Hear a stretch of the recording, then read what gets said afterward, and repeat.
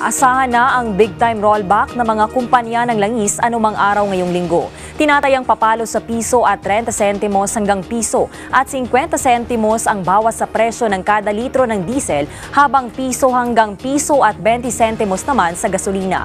May rollback din sa piso o na piso at 20 sentimos hanggang piso at 30 sentimos sa kada litro ng kerosene.